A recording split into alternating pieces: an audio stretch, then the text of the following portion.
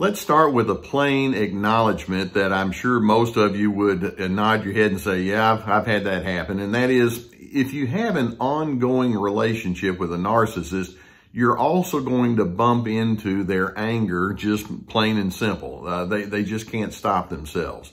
Let's keep in mind that narcissism is a pattern on a spectrum and it, it, implies they have an, a high need to be in control and low levels of empathy. They have an attitude of entitlement. They're very thin-skinned. They can be manipulative. They want to be the special one in the group.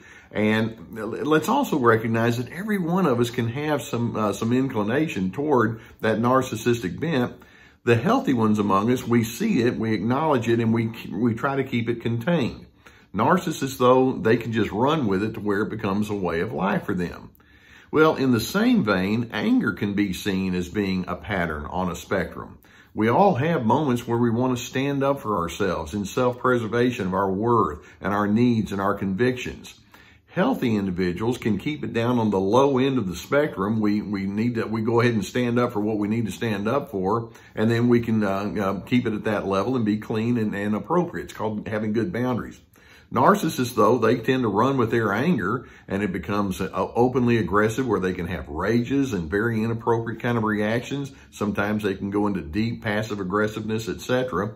And it's interesting, the, the pattern of narcissism and, and how far it goes down on the spectrum tends to run very parallel to the pattern of anger and it's uh, running down the far side, uh, far end of the scale. Uh, they, they tend to go hand in hand with each other. Now, today I want to talk about some uh, some uh, common comments that you might make with a narcissist that will bring that anger out. And as I go through these, I have seven that I've identified. There's there are plenty more, by the way. But I, I, want you to just kind of be aware of uh, when their anger comes out in reaction to these comments. I'm hoping that you understand what's behind that so that you don't get sucked in unnecessarily to their uh, unhealthy games. For example, the, the first uh, uh, comment that I want us to look at, and that is, it may be that you'll say to that narcissist, you know, you have some serious control issues. Now, watch that person squirm when you say that. And I find it really interesting that, that, that most narcissists find that to be highly offensive to the point where it charges their anger. You see, the implication is when you tell them they, that they have control issues, they find that to be insulting. Like, I don't want anybody to tell me I have control issues because deep down on the inside, they know that's not a good way to do life. Now, uh, the fact that they're highly controlling and the fact that they uh, are offended by you calling them controlling shows that they have an, an astonishing lack of self-awareness. But, uh, but you can see that, uh, that they don't understand uh, how their control comes across and, uh, and, and, uh, as a result, uh, if you call them out on it, they're just going to be terribly offended. I, I remember one woman, uh, the husband was in my office and he was talking to her, uh, and he said that phrase, you, you, have some serious control issues. And she, she, uh, actually, she, um, um, pointed her finger. Now think about it as a, a fist with a, a finger pointed out. You know, she was just kind of doing this and she, spoke to him in a very stern way. And she said, oh no, I am not a controlling person. In fact, I am the least controlling person you have ever met. I'm sitting there thinking, wow, uh, talk about a lack of awareness. But she was offended by that. She wanted to be known as being a pleasant and friendly kind of an individual. So, but just the suggestion uh, of control was all it took to get her off into her place of anger. Uh, in other words, very low self-awareness. Or a second uh, common phrase that you might say, and that is, I'd like for you to listen to my perspective. Now, again, that's a very fair thing. And when you have two people in a relationship, there are going to be times when your perspectives are different and uh, turnabout's fair play. You say what you need to say. I'll say what I need to say. Uh, another illustration, I had a woman in my office and she was speaking to her husband who was highly controlling to the point where he ran people off left and right. And she, they were talking about something and she just said, can I just share my perspective? I want you to hear what I have to say. And he looked at her and said, I don't need your perspective. Well, when he said that, I, I, I paused him and I said, well, let's look at something here. And as soon as I said that, he started wagging his finger at me. And he, he just said, don't go there. Don't go there. And I said, well, she has asked uh, to have the opportunity to share her perspective. I think that's fair. And he just said, don't go there. Don't go there.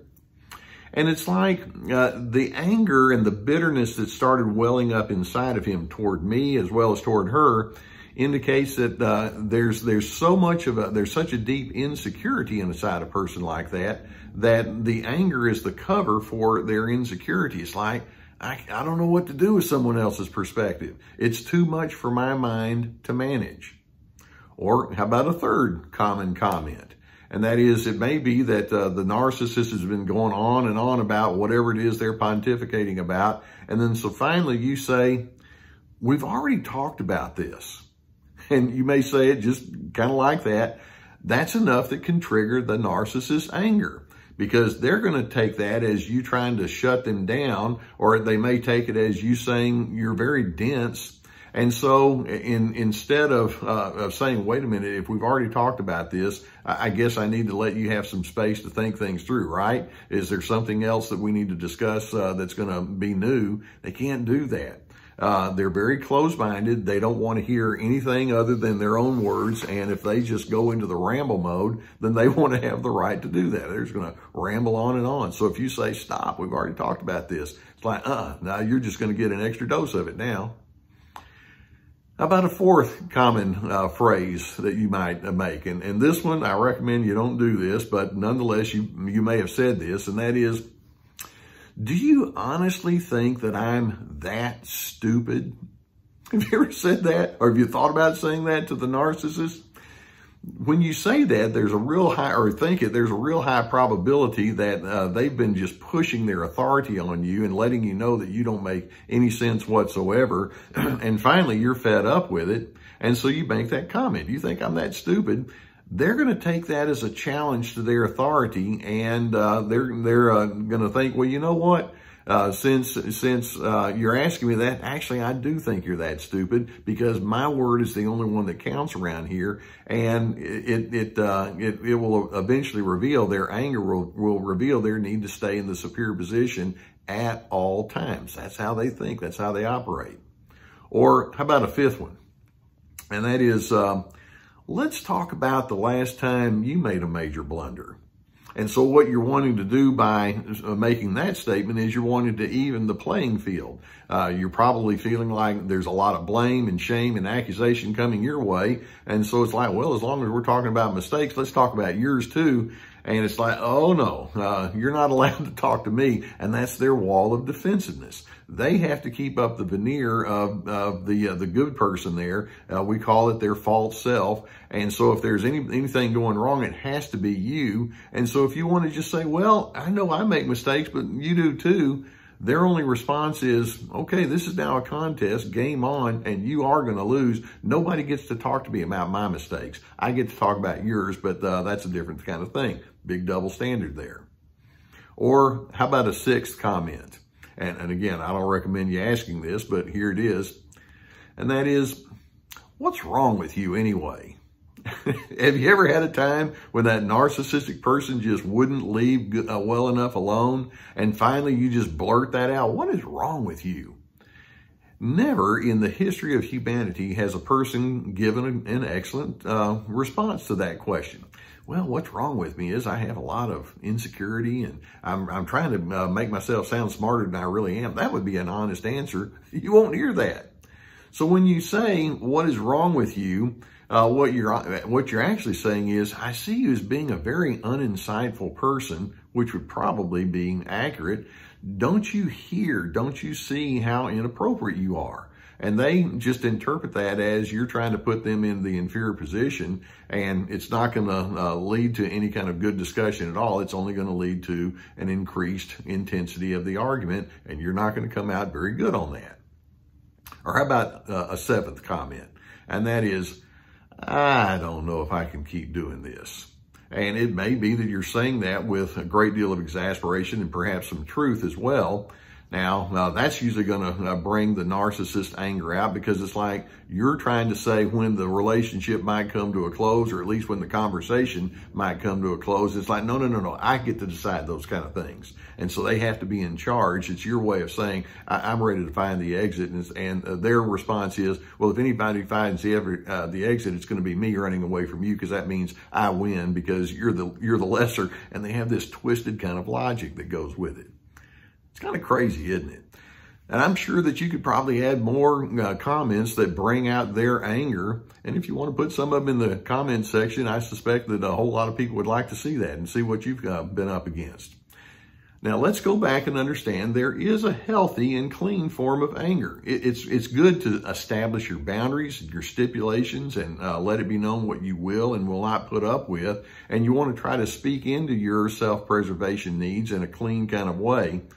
But just understand the, the nature of narcissism is such that they're not able to, uh, to, to do that in a clean way with you. And so uh, they've got an unhealthy uh, self-absorption, which leads to an unhealthy form of anger. I'm hoping that instead of getting swept into their uh, lack of maturity, you can have a clean sense of assertiveness that says, I'm going to stand for who I am and what I believe in. I'm going to uh, establish my boundaries where necessary. And then if you want to be triggered and have the anger, I'm not running into that and I'm not going to go down that ditch with you. Uh, there, there's just going to be a time when it's like, well, nonetheless, I'm standing firm on where I am. And you don't really get caught up in all of the circular arguments that go along with their lack of maturity. So uh, basically, I'm going to do what's fair and appropriate. And if you choose not to, then that means that I'm going to also have to uh, take a lot of uh, thought about the future of our relationship because I'm not going to be close with somebody who just doesn't know how to manage conflict well at all. Uh, so uh, we'll have to just kind of take that question as it comes as well. I do hope that you get good insight and awareness through videos such as this. Uh, if you've not already done so, I would encourage you to hit that subscribe button right below and uh, we'll keep you apprised of more videos that come our way.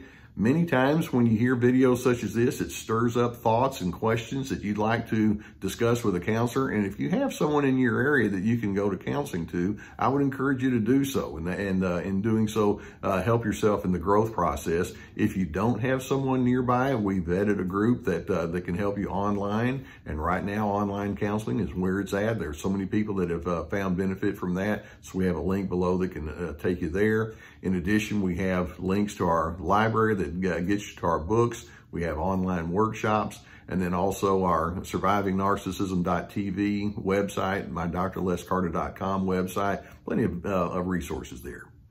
I'm hoping that you can look more carefully into the way that you manage anger so that uh, your non-narcissistic side can stay intact. And when that narcissist uh, comes in with their unhealthy anger and all the rage that can come along with it, it's like, you know what?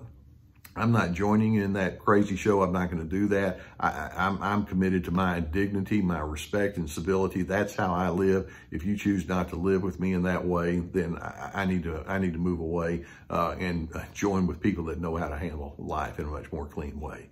I want you to have steadiness, and I want you to have your your sense of peace.